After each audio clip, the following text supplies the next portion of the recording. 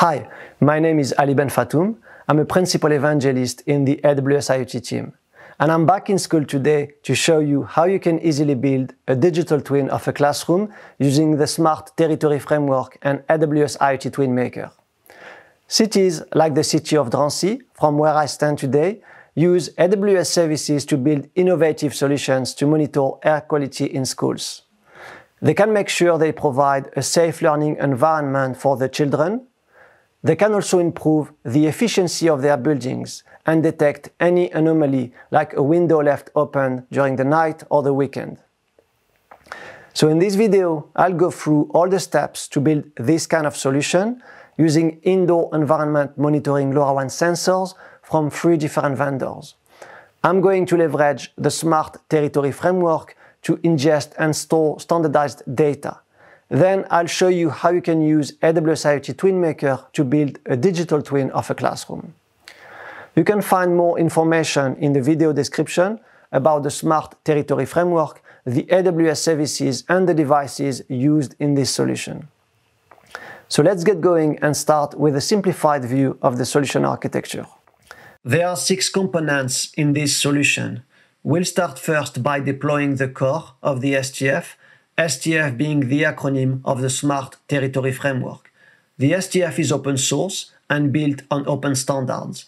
It enables decoupling data producers from data consumers, making it easier to build scalable, sustainable, and interoperable solutions.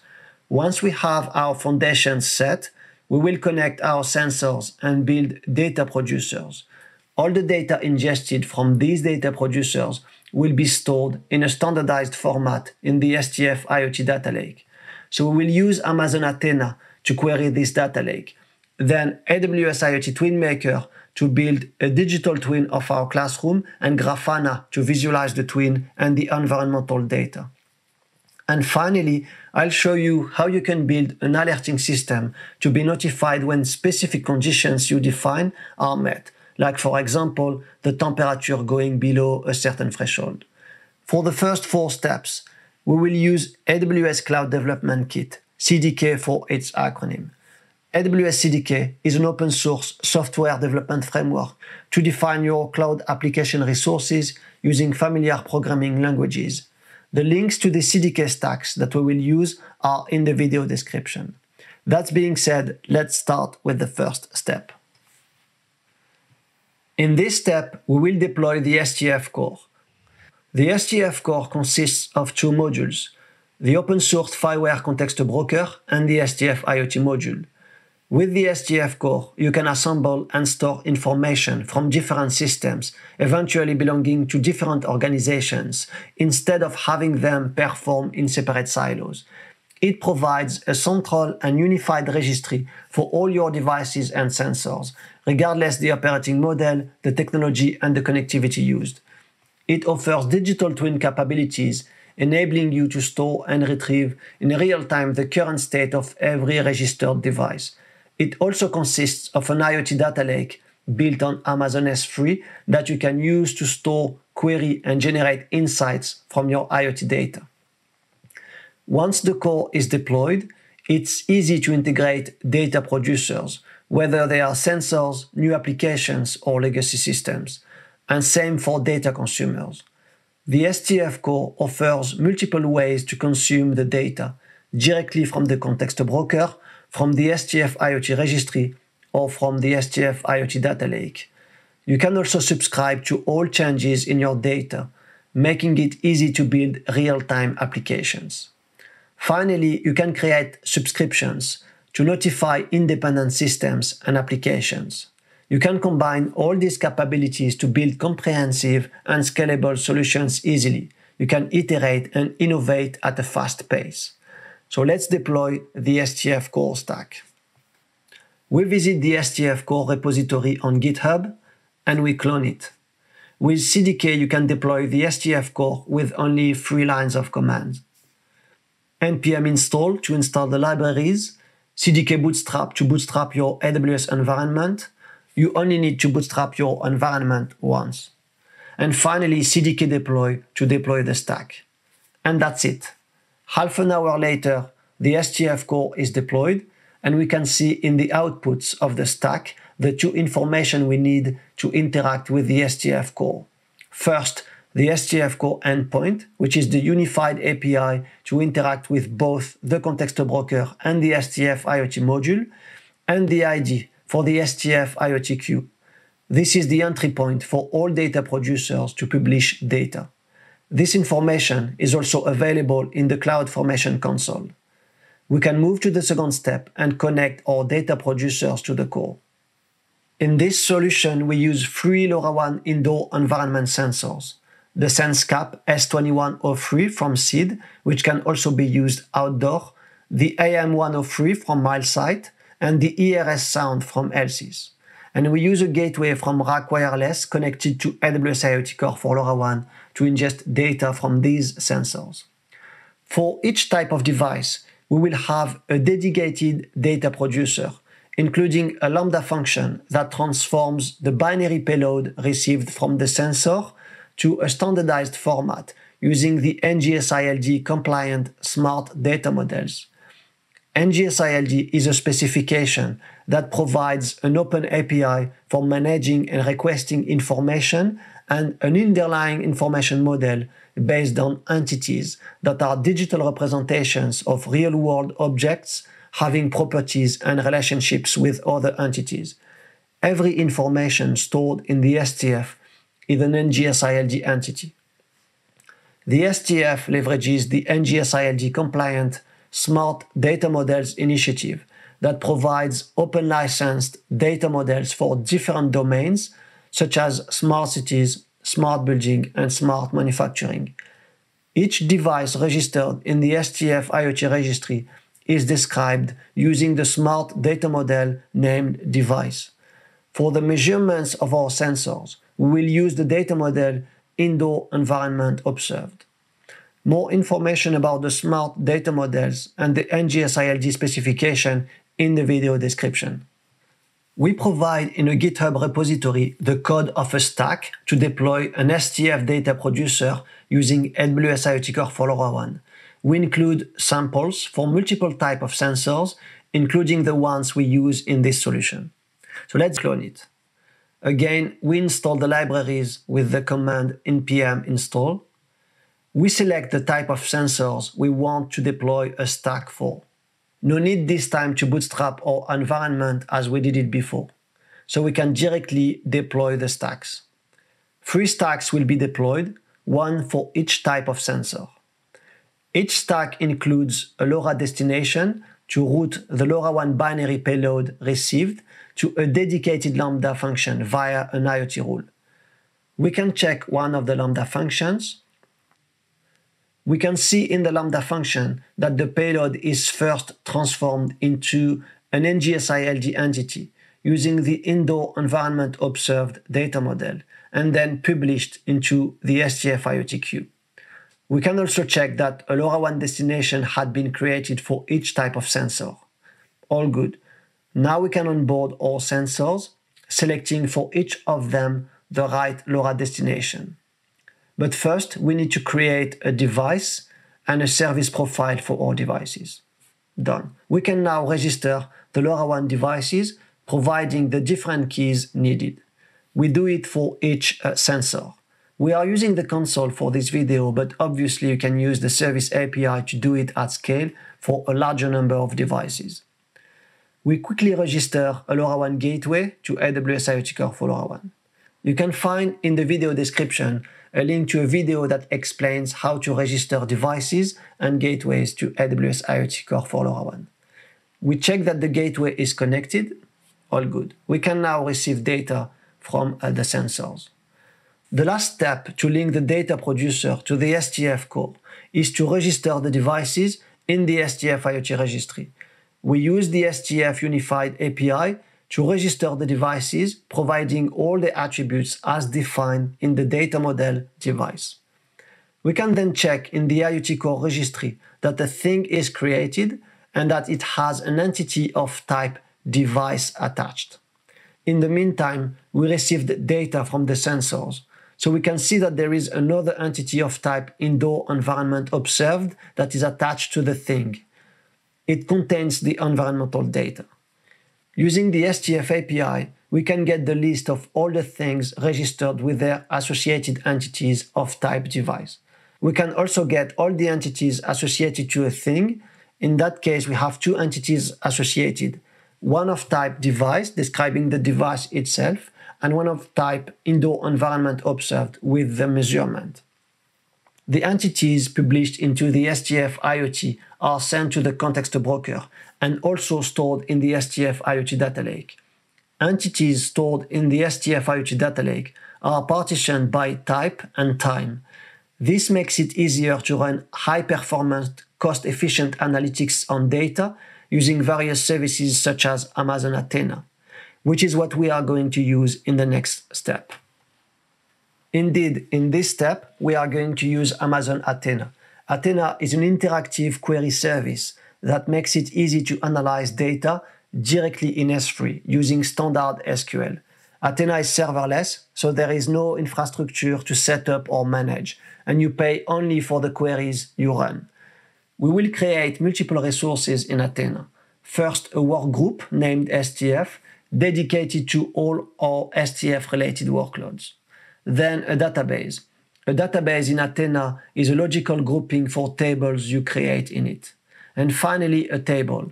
A table in Athena contains the metadata definitions of a schema for the underlying source data. In our case, the source data will be the STF IoT data lake.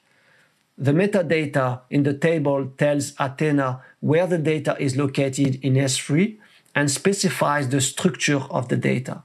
So for this solution, we will create a table for the data model indoor environment observed we provide a GitHub repository for this step in which you can find a CDK application that will provision these resources.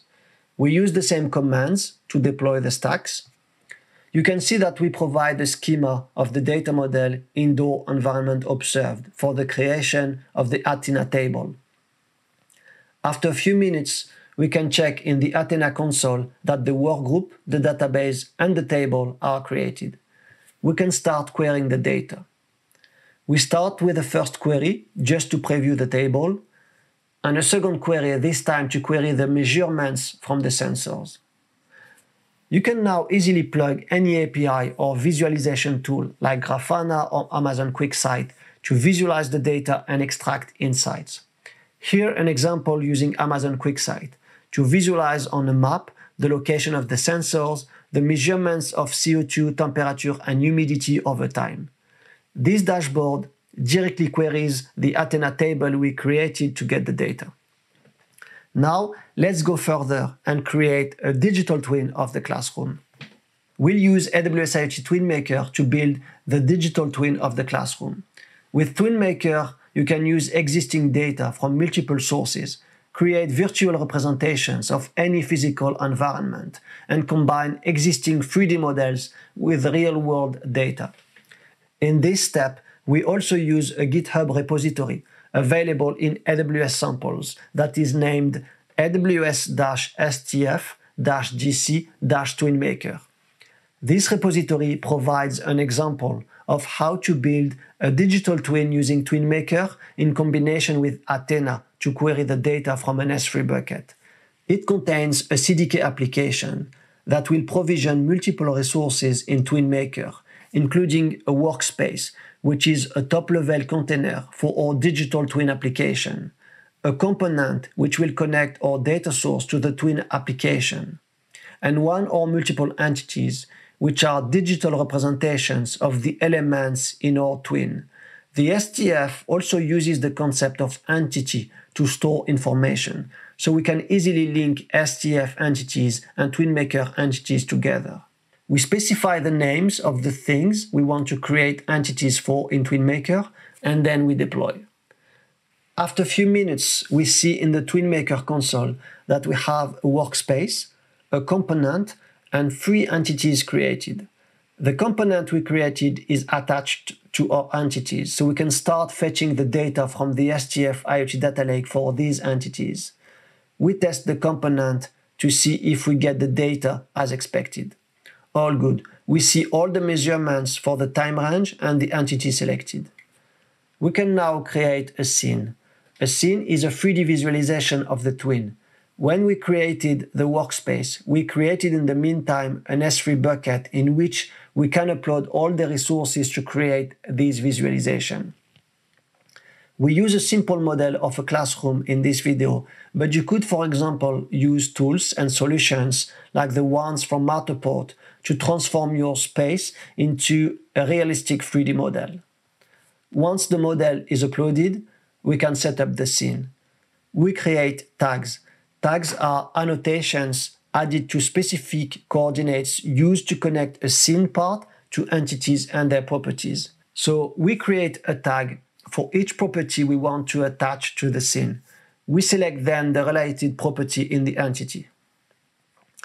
Also, we create rules to provide a visual indicator based on conditions we specify. For example, we can change the icon of the tag when the CO2 or the temperature is above a certain threshold. We have everything set up now to create a dashboard to visualize our twin. For this step, I will just show you an example of a Grafana dashboard I built when preparing this video, but you will find in the video description a link to the documentation describing how to set up a Grafana dashboard yourself.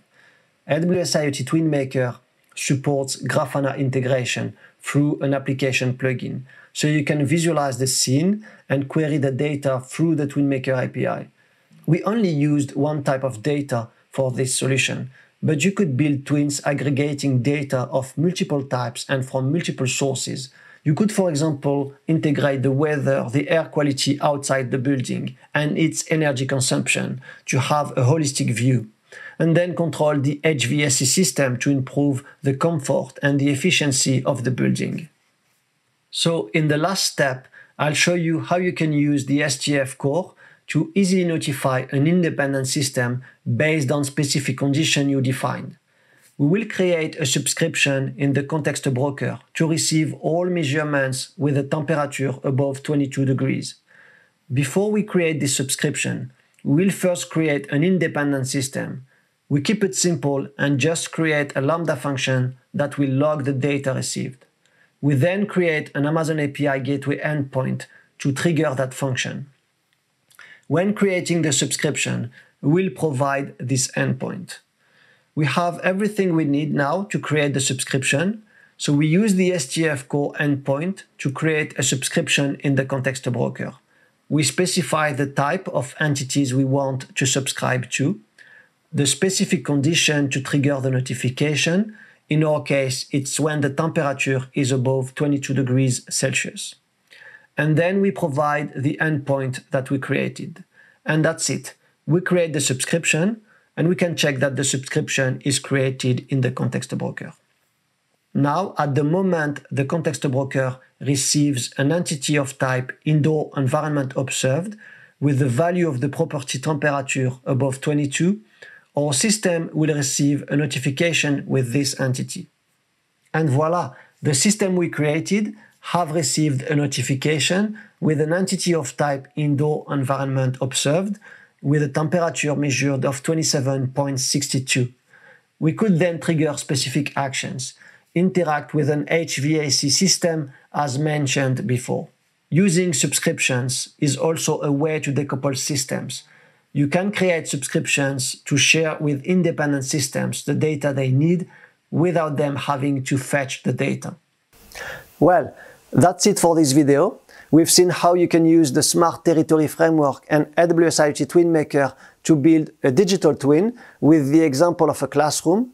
We covered how to deploy the STF core and multiple data producers using AWS IoT Core for LoRaWAN, how to use Amazon Athena to query the data in the data lake, then how to use AWS IoT TwinMaker and Grafana to build and visualize your twin, and finally, we've seen how you can use subscriptions to connect and interact with independent systems and applications. You can find in the video description more information about the STF and the AWS services we used. And it only remains for me to thank you for watching. I hope you found it useful and that it will help you build your own digital twin applications.